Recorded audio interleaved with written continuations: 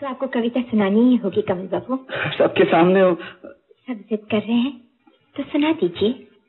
खैर अगर आप कहती हैं